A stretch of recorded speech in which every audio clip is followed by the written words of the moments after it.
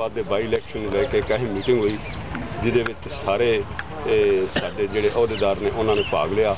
ਤੇ ਉਹਦੇ ਵਿੱਚ ਇਹ ਫੈਸਲਾ ਹੋਇਆ ਹੈ ਕਿ 11 ਮੈਂਬਰੀ ਕਮੇਟੀ 1 ਤਰੀਕ ਨੂੰ ਦੁਬਾਰਾ ਫਿਰ ਮੀਟਿੰਗ ਕਰੇਗੀ।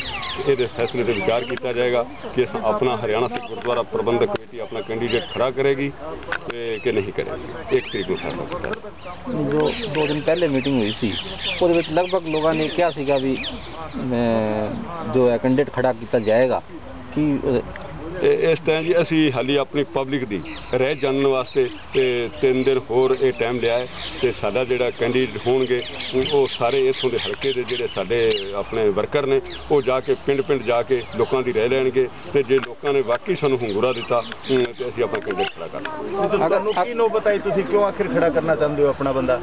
ਇਸ ਤਰ੍ਹਾਂ ਜੀ ਸਾਨੂੰ ਕਾਂਗਰਸ ਪਾਰਟੀ ਨੇ ਸਾਡੇ ਨਾਲ ਬਹੁਤ ਧੋਖਾ ਕੀਤਾ। ਉਹਨੇ ਸਾਥੋਂ ਤਿੰਨ ਵਾਰ ਵੋਟਾਂ ਲੈ ਕੇ ਹਰਿਆਣਾ ਗੁਰਦੁਆਰਾ ਪ੍ਰਬੰਧਕ ਕਮੇਟੀ ਦਾ ਆਪਣੇ ਚੁਣਾਵੀ ਮੈਨੀਫੈਸਟੋ ਵੀ ਦਿੱਤਾ। ਉਸ ਤੋਂ ਬਾਅਦ 1 ਨਵੰਬਰ ਦਾ ਸੀਐਮ ਸਾਹਿਬ ਨੇ ਇਹ ਬਿਆਨ ਵੀ ਦਿੱਤਾ ਤੇ ਅਸਾਂ ਸੀਐਮ ਸਾਹਿਬ ਦੀ ਅਮ, ਦੇ ਵੇਂਦੇ ਹੋਏ ਕਿ ਉਹ ਆਪਣੇ ਜ਼ਬਾਨ ਦੇ ਪੱਕੇ ਨੇ ਵਾਅਦਿਆਂ ਦੇ ਪੱਕੇ ਨੇ ਇਸ ਕਰਕੇ ਫਿਰ ਅਸਾਂ ਉਹਨਾਂ ਨੂੰ ਇਸ ਵਾਰ ਵੋਟਾਂ ਪਾਈਆਂ। ਪਰ 1 ਨਵੰਬਰ ਤੋਂ ਬਾਅਦ ਸਾਡਾ ਮਨ ਬਿਲਕੁਲ ਉਦਾਸ ਹੋ ਚੁੱਕਾ ਕਾਂਗਰਸ ਪਾਰਟੀ ਤੋਂ ਅਮ, ਤੇ ਅਸੀਂ ਇਹ ਨਾ ਹੁਣ ਸਾਡੇ ਕਾਂਗਰਸ ਪਾਰਟੀ ਹਰਿਆਣਾ ਦੇ ਸਿੱਖਾਂ ਦੇ ਹੱਕ ਦੀ ਕੋਈ ਗੱਲ ਕਰਨਾ ਚਾਹੁੰਦੀ ਹੈ ਤੇ ਬਾਦਲ ਤੇ ਚਟਾਲਾ। ਉਹ ਸਾਡੇ ਇਸ ਪਹਿਲਾਂ ਹੀ ਸਾਡੇ ਮੁੱਦੇ ਦੇ ਵਿਰੋਧ ਸਨ। ਇਸ ਕਰਕੇ ਅਸੀਂ ਇਹ ਸੋਚ ਰਹੇ ਹਾਂ ਕਿ ਕੁਝ ਪਾਰਟੀਆਂ ਨਾਲ ਸਮਝੌਤਾ ਕਰਕੇ ਸ਼ਾਇਦ ਅਸੀਂ ਆਪਣਾ ਕੈਂਡੀਡੇਟ ਕਰਾਂਗੇ।